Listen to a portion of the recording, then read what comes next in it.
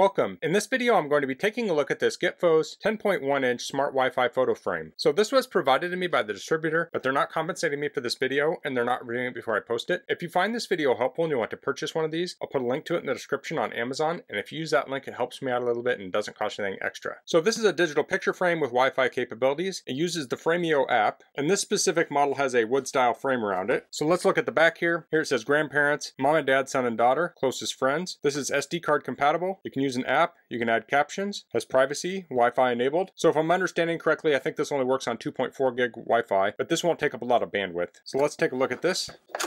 Here we have the manual. So here's a diagram of it. We have the power button. It says after connecting the power adapter, press and hold the power button for approximately 5 seconds until the screen turns on. When it is on, press and hold the power button for approximately 3 seconds to access reboot or power off menu. Short press the power button to turn on off the screen, and that will leave the photo frame on. It says micro USB, connect a USB flash drive. USB is for service only. Reset, use a needle or paper clip to reset the unit. Micro SD card, load external max 32 gigabyte micro SD card here. DC, connect DC adapter to power on the device. USB, type A, load flash drive here. So here we have getting started, has QR code to download the app, and this talks about setting up Frameo, and I'll walk through that. This talks about managing photos, and we have other settings on here. So let's pull this out of here.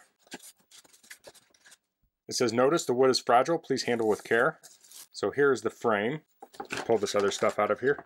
So we'll get back to the frame for a second, but I want to look at the power supply. So this outputs 5 volts at 2 amps. So this would be similar in power to a USB charger. The cord length is a little over 5 feet. So here we have the faux wood frame. We have a white mat and then the screen for displaying the photos. So on the back here, you can see there's clips to hold this on. So this could potentially be removed. I'm not sure. There's a speaker on the back. We have keyholes so you could hang this. We have the on button. Here we have the reset hole, micro SD, USB, micro USB. And I think that's the one for programming at the factory. And we have power. And then we have a kickstand here. So this comes with two kickstands, and these thread in like so. So if you set this on a table or desk, you can have it like that, or you can have it like this. But in this orientation, this tilts back quite a way, so you might want the larger one there, like that. So I'll put the other one back on. So let's plug this into power. Let's have a right angle power adapter there. So if you have this sitting on a desk, it's not going to poke out the side, so that's nice. There we go. And actually, I think I'm going to remove the kickstand because this can be kind of hard to see under my camera and lights at the angle I film at. So I'll go turn the overhead light off so we don't get the glare and then I'll take a look at this. Okay, so I've turned the overhead lights off. I'll plug it in. Okay, it turned on. Here's the Frameo icon. This is Frameo. Okay, it says welcome. Never disconnect power when Frameo is running. Here we have a welcome screen. It's on English, so I'll hit next. And this is a touch screen, so I'm just going to tap the screen. Now it says connect to Wi-Fi, so I'll choose my Wi-Fi network. I'll enter in my Wi-Fi password. I'll hit next. It wants to know my time zone, so I'll enter that in. It's already set its own date and time, and I can set 24-hour time format. I'll hit next. It says there's an update available, so I'll hit download and install. So that will take a while. I'll speed that up here. Okay, it restarted and had me go through those settings again. So I just hit next on all of those and then it checks for the update. That's already there. So it says your full name. Enter that. I'll enter the location. I'll hit next. It says let's guide you. The first step on your new frame is to add some friends who can send you photos. I'll hit next. It says generate code. Once you press the friend icon, you'll see a code. It says pass the code. Give this code to a friend you want to add. You can do this by telling, texting, sending a photo of it, or another way of your choice. Tell your friend to download the Frameo app or they can enter the code you sent. Now you're ready. So I'll hit done. It says you have not received any photos yet. Tap the friend icon to add more friends. So I'll say add friend. And here I have a code. Okay, so I'm on my iPad. I'm in the App Store. I'll look up Frameo or you can use those QR codes to download it.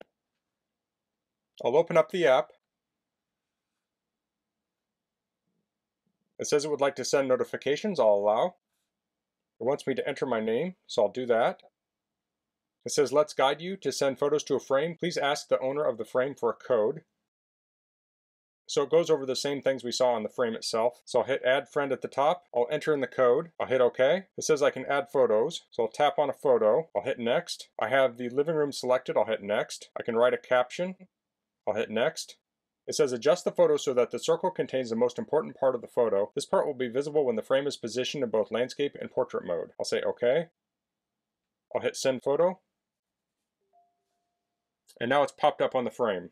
It says introducing reactions. Receive notifications when your loved ones share their reactions to your latest sent photos and videos. I'll say okay. So if I tap on the screen here, we can react to it. I'll hit like. And now I have a notification on my iPad that Rick loved your photo. So on the app, you can press the little button in the bottom left of this main photo, and you can select multiple photos here. So you can send more than one at a time. So the idea behind this is that you can give this frame to a friend, grandparent, son, daughter. They can set it up at their location, or you can set it up for them, and then you can send photos to it. So you could put this in a grandparent's house, and you could have all their kids and grandkids have access to this on their own app, and they can send photos to this frame. So we can also stick a flash drive in here to load photos on it. So here I have a 32 gigabyte flash drive. I'll plug that in.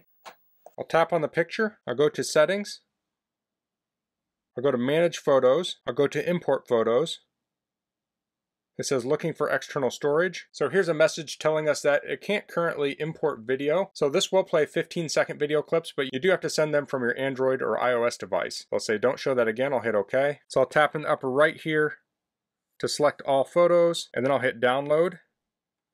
So this will download all of those photos to the frame. This frame has 16 gigabytes, so you can put thousands of photos on here. Needless to say, higher resolution photos will take up more room. So if you're an advanced user, you could downsample and then optimize how many photos you could put on here. But for most people, just taking photos with a smartphone and sending them through the app, you'll have room for many, many, many photos on here.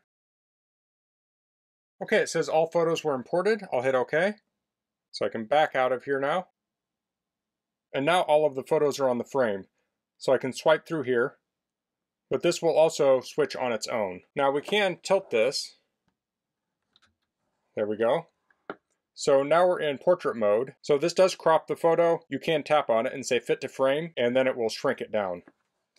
But I tend to prefer the landscape mode for my photos, but it does have the option to go into portrait mode. And then this will cycle through the photos. So let's go over the interface. We have hide photo, gallery, fill frame, or adjust photo. So if we hit adjust photo, we can do things like rotate it. So if you have a photo that's upside down or sideways, you can fix it. We have gallery, which will show thumbnails of the photos. So here I can pick a specific photo.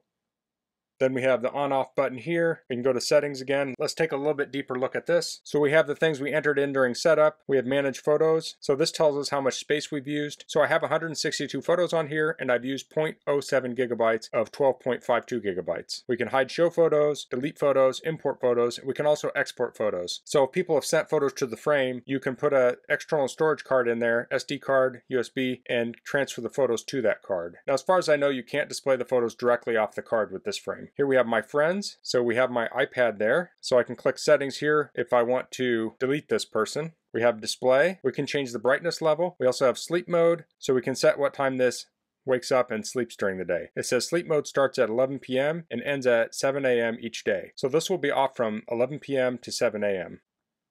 I'll hit slideshow. Here we have the timer. It says show each photo for 30 seconds. I can go from one second to 24 hours on that. So I'll switch this to five seconds for now. So if you just want one photo each day, you can set that up on here. We can select show caption or not. We can set the default for fill frame. Here we can change the photo display order. We can change it by date received, date taken, or shuffle.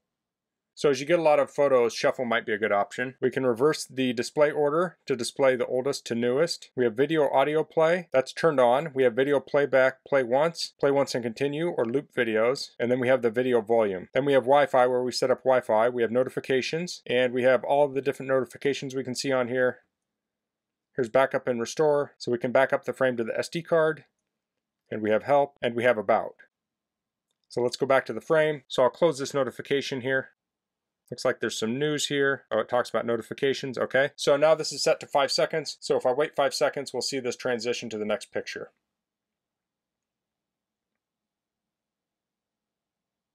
I've had the frame plugged into this energy monitor. So if we go down here, it is taking 4.9, 4.2 watts. It's jumping up and down a little bit. And if we go to cost, it's cost one penny, but let's extrapolate this out. So if we take it to a year, this would cost $2.36 per year. And that's based on 9 cents per kilowatt hour. And this is turning off at 11 p.m. and turning on at 7 a.m. Now I don't want anyone to expect they're going to pay this exact amount for electricity for this. This is to give you a ballpark of what it would cost. Then if we go here, it's used 0.18 kilowatt hours. So that's the Gitfos 10 10.1 inch smart Wi-Fi photo frame. I think a frame like this is a great way to get the photos off of your devices out where people can see them. You can use this in your own home to share your own photos with your friends and family, but the cool thing about this is that you can put this at a grandparent's house and share your photos with them. The nice thing about this is that all they need is Wi-Fi. So they don't need to have their own device, they don't even need to have their own phone, smartphone, tablet, computer. You can hook this up to their Wi-Fi and then you can start sending photos to it. You don't even need an account, you just enter that number in and the app takes care of everything else.